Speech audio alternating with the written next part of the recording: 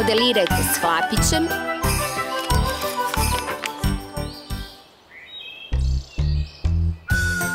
Sva djeca vole nešto izrađivati i stvarati. Prvo se najčešće susreću sa crtanjem i slikanjem. Raznim bojama na papiru stvaraju svoja prva umjetnička dijela. Hlapić vam predstavlja još jednu zanimljivu tehniku koja oduševljava mnoge mališane. Riječ je o modeliranju.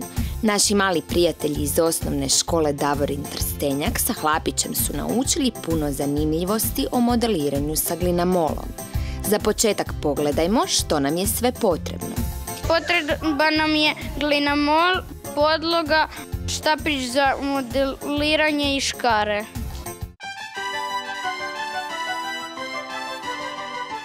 Glinamol je kruta masa, postoji sivi glinamol i bijeli glinamol. Mekan je i s njim možete napraviti što poželite. Sa glinamolom se mogu raditi razne stvari. Mogu se raditi figurice, životinjice, kućice, svašta. Djeca zbog raznih mogućnosti koje im pruža glinamol uživaju u igri sa tom zanimljivom masom.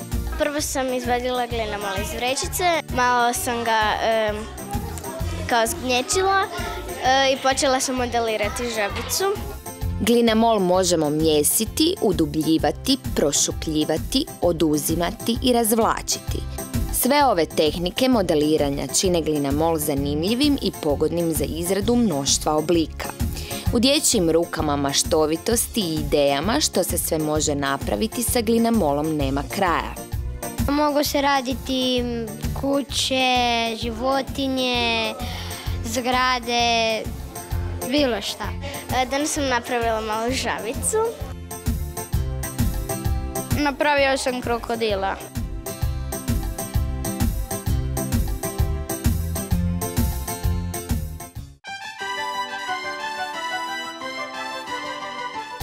Osim što glinamol oblikujete sa prstićima, dobro će vam doći jedan štapić.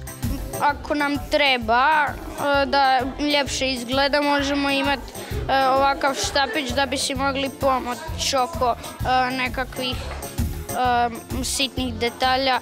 Mališani koji su s veseljem modelirali imali su savjet za sve koji će po prvi puta raditi sa glinamolom.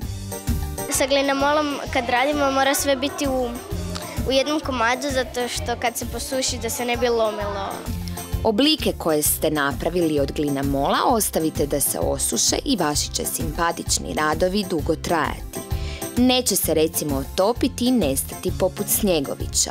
Osim toga, svoje radove od glina mola kada se osuše možete obojiti temperama, tuševima, vodenim bojama ili lakovima.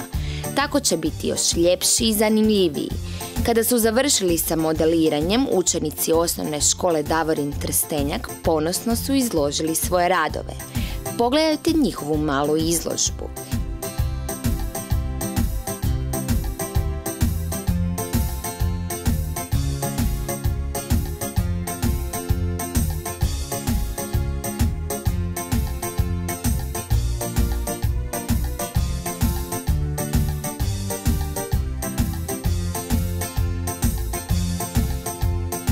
Isprobajte i vi modelirati sa hlapićevim glinamolom. Otkrićete nove načine i mogućnosti da iskažete svoju kreativnost. Modelirajte s hlapićem i uživajte.